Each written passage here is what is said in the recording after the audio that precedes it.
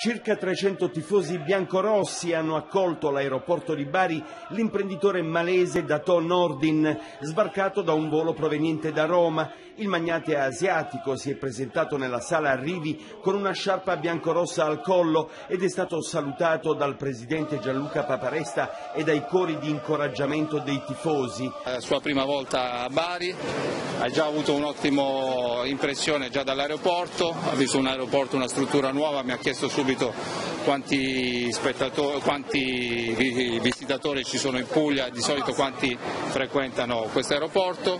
E adesso diamo la possibilità di conoscere un po' la città e domani una, convocherà una conferenza stampa per illustrare tutti i suoi progetti, il programma che ha e che cerchiamo di illustrare al meglio per fare questo progetto sempre più forte e renderlo sempre più forte.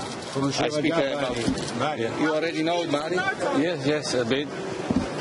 The people are lovely people, very warm people.